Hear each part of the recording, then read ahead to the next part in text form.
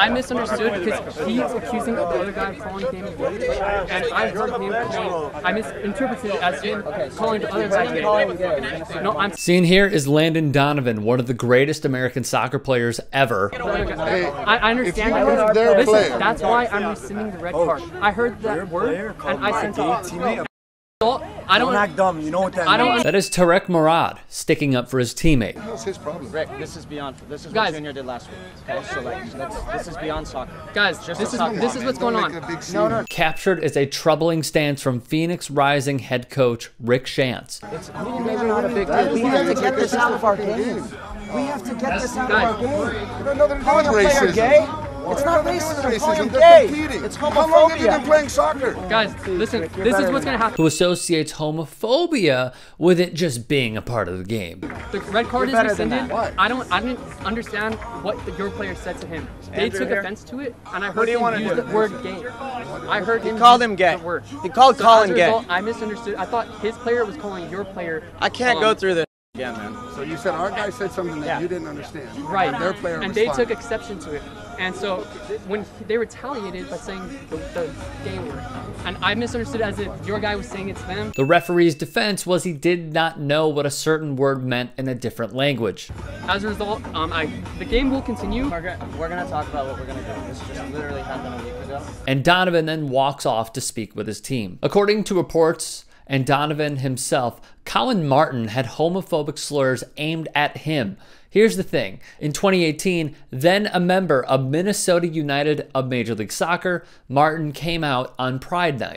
So, we've been through a lot in the last week.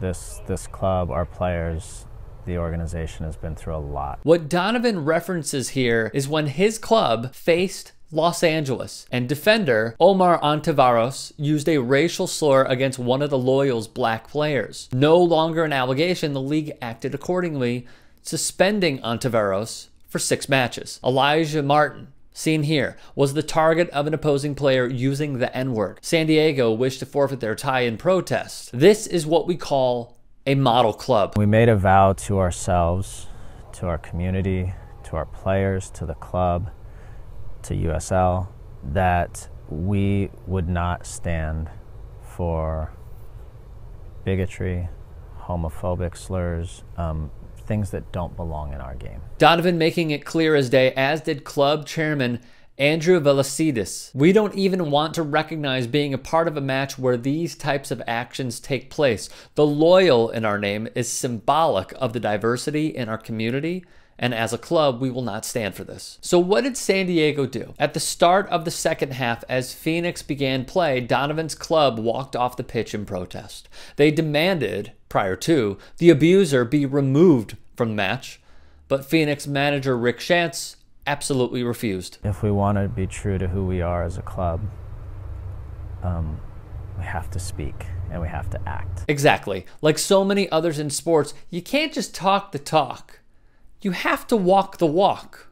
As the late John Lewis said, My philosophy is very simple. When you see something that is not right, not fair, not just, you have a moral obligation to say something, to do something, stand up, speak up, speak out. and so the San Diego Loyal did. ESPN reported Junior Flemings later identified himself as the player accused of using the anti gay slur and called the accusation false, saying his teammates would support his account. CNN reported just how big of a sacrifice this was. By walking off, San Diego forfeited the match and ended their chances of reaching the playoffs. Donovan would say, I know how hard it was for them to even take the field tonight, given everything that happened. And then for it to happen again a week later was just devastating. Our guys, to their immense credit, said we were not going to stand for this. They were very clear in that moment that they were giving up all hopes of making the playoffs. They said it doesn't matter.